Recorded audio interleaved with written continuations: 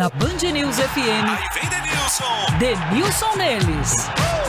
Oferecimento esportesbet.io. Aqui da Mais Green. Vem pra Io. Iveco Dairy 2022. Máxima potência e máxima economia. E Grupo Souza Lima. Eficiência em segurança e serviços.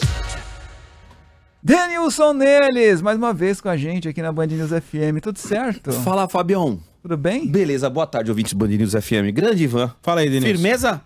Rapaz, eu tava pensando, vindo, vindo trabalhar hoje de manhã, situação do Fortaleza, né? Obviamente, vamos falar aqui rapidamente do Palmeiras, que o Palmeiras fez ontem foi um absurdo. Marlon, o Marlon, o zagueiro, um dos, dos jogadores do, do Atlético Goianiense, foram entrevistar ele no finalzinho do primeiro tempo. Uma pergunta, ah, e aí, tipo, o que, que aconteceu? Ele falou, graças a Deus acabou o primeiro tempo.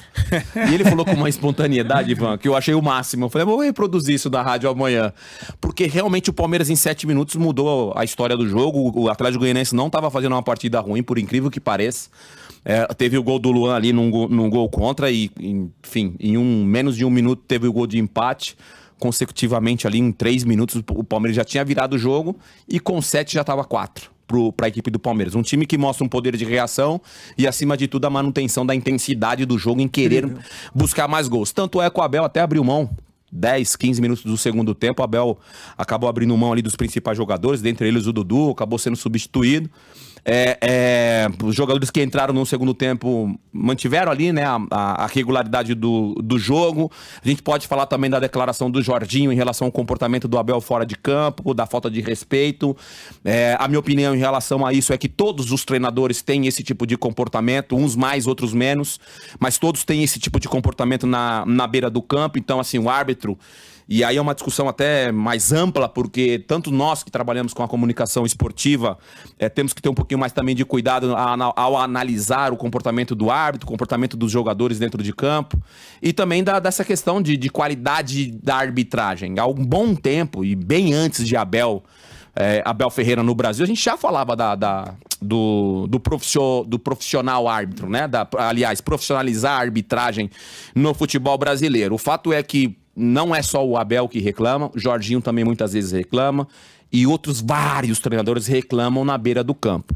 Obviamente, o árbitro, alguns árbitros têm o comportamento ou a personalidade de, na primeira reclamação, já dar um amarelo, assim também dentro de campo com os jogadores. O fato que o Palmeiras hoje é o líder do campeonato, com três pontos à frente do segundo colocado, que é o, o Corinthians e fazendo um campeonato muito bom. Gostaria de falar rapidamente é, do que foi feito, do que foi, do que fez o São Paulo ontem no, é, no, no- no Engenhão, no Newton Santos.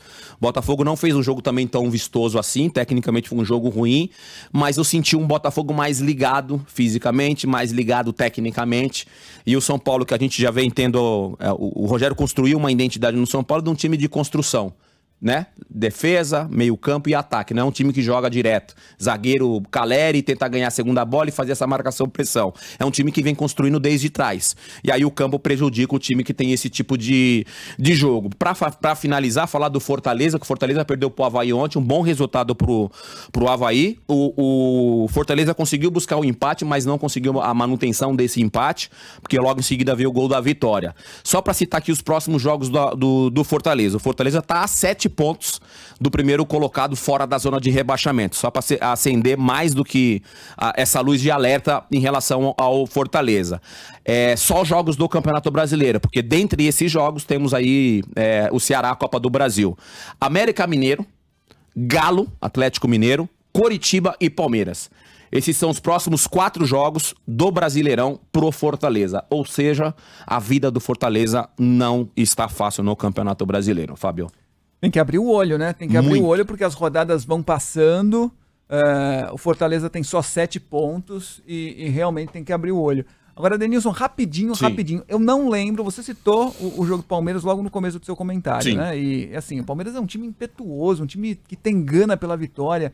Eu não lembro de ter visto um time marcar três gols em 3 minutos e 23 segundos.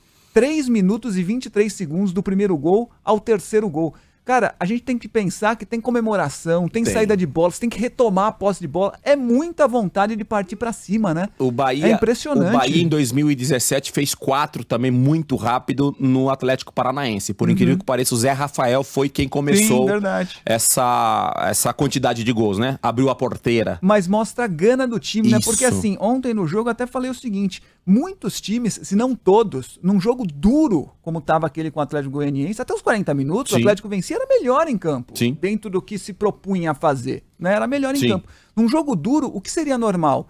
Empatamos aos 41 do primeiro tempo. Gente, vamos botar essa bola no chão, cabeça no lugar, tocar a bola pra que a gente volte no segundo tempo pra virar esse jogo. O Palmeiras não fez isso, não. Não fez isso. Foi ali pra matar o jogo logo no primeiro tempo. Foi era impressiona incrível. impressionante. E para finalizar, e mais uma vez sendo repetitivo, é, a declaração do Marlon, por mais espontânea que tenha, que tenha sido, foi o retrato mesmo do, da- daquela reta final de primeiro tempo. Graças a Deus acabou o primeiro tempo.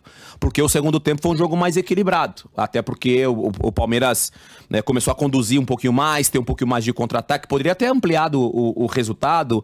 É, teve ali algumas saídas de, de, de contra-ataque com o Breno, por exemplo. Teve a expulsão de um dos jogadores do Atlético, é, do Atlético Goianiense. Mas o fato é que o Palmeiras está num ritmo de jogo, num ritmo de, de, de concentração, de intensidade, de entendimento do que o Abel pede.